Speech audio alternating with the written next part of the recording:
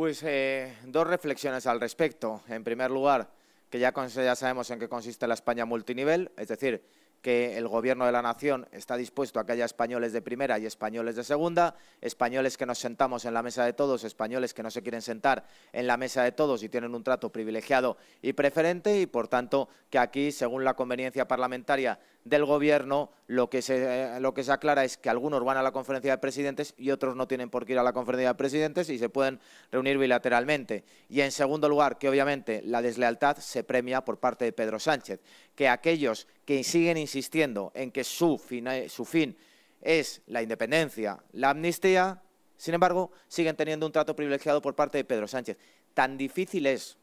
tan difícil es por parte del Gobierno de la Nación decirle a la Generalitat de Cataluña, a su presidente Per Aragonés y a los partidos que la sustentan, Esquerra Republicana de Cataluña y Junts pel que antes de sentarse se comprometan con la ley y el Estado de Derecho?